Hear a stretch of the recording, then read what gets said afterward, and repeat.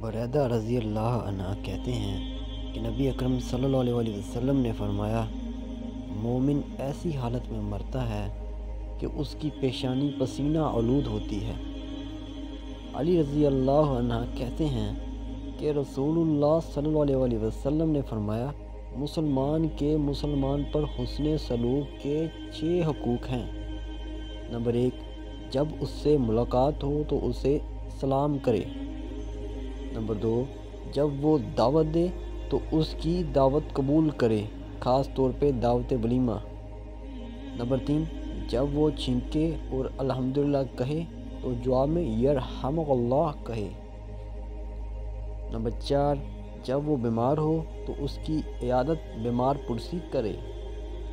Number پانچ، جب اس کا انتقال ہو جائے تو اس کے جنازے کے ساتھ جائے۔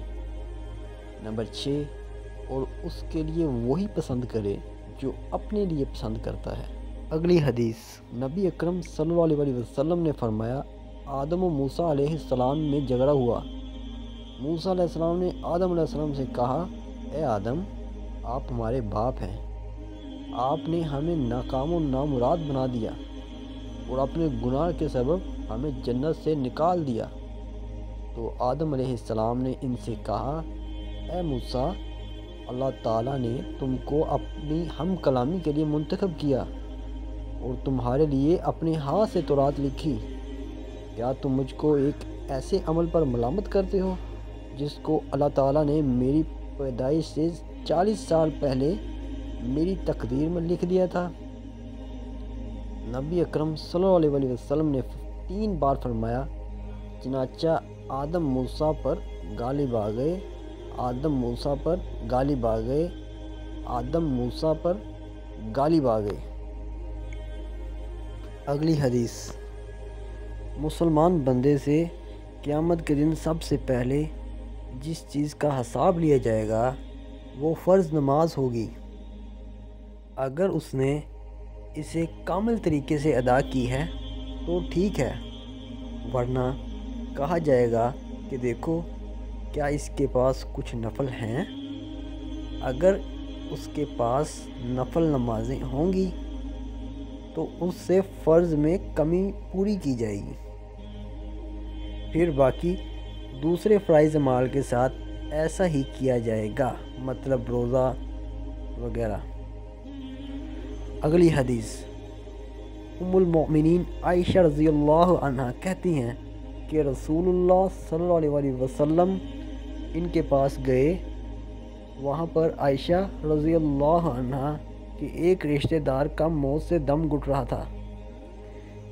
جب نبی اکرم صلی اللہ علیہ وسلم نے عائشہ رضی اللہ عنہ کا رنج دیکھا، تو ان سے فرمایا، تم اپنے رشتہ دار پر غم زدہ نہ ہو، کیونکہ یہ اس کی نیکیوں کا سبب ہے۔ سبحان اللہ۔ اگلی حدیث۔ جب شام کا کھانا سامنے رکھ دیا جائے اور نماز بھی شروع ہو رہی ہو، تو پہلے کھانا کھاؤ۔ اگلی حدیث۔ طاقتور مومن اللہ تعالیٰ کے نزدیک کمزور مومن سے بہتر اور پیارا ہے۔ دونوں میں سے ہر ایک میں خیر ہے۔ ہر اس چیز کی حرص کرو جو تمہیں نفع دے اور اللہ سے مدد طلب کرو۔ دل ہار کر نہ بیٹھ جاؤ۔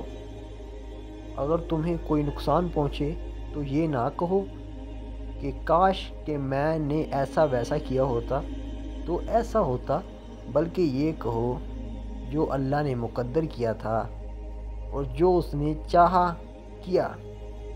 اس لیے کہ اگر مگر شیطان کے عمل کے لیے راستہ کھول دیتا ہے۔ اگلی حدیث۔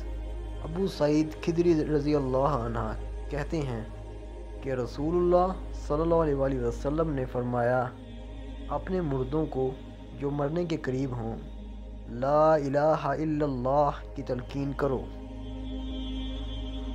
اگلی حدیث، جب نمازی کے آگے کجاوا کی لکڑی کے مثل کوئی چیز نہ ہو، تو اس کی نماز عورت، گدے اور کتے کے گزرنے سے ٹوٹ جاتی ہے۔ عبداللہ بن سامت رضی اللہ عنہ کہتے ہیں کہ میں نے ابو ذر رضی اللہ عنہ سے پوچھا کہ کالے کتے کی تخصیص کی کیا وجہ ہے؟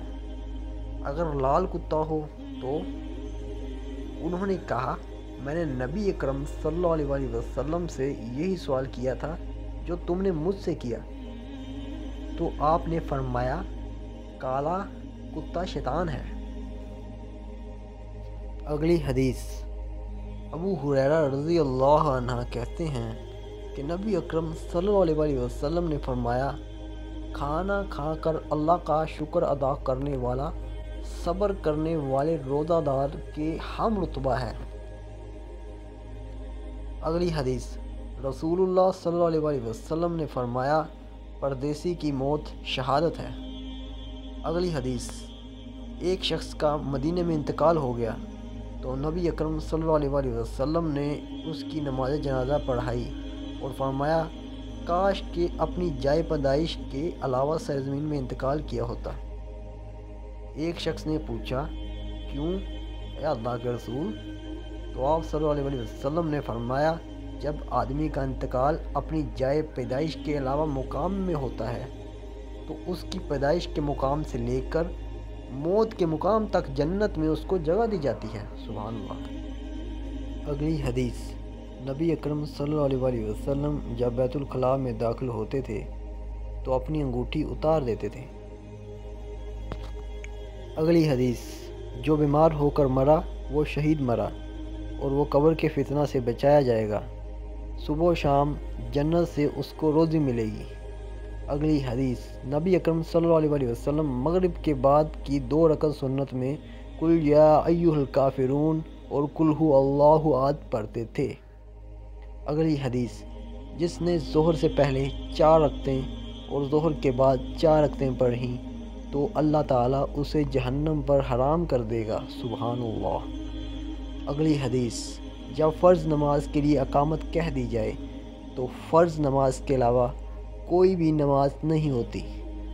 اگلی حدیث، نبی اکرم صلی اللہ علیہ وسلم نے فرمایا، مجھے حکم دیا گیا ہے کہ میں نماز میں بالوں اور کپڑوں کو نہ سمیٹوں۔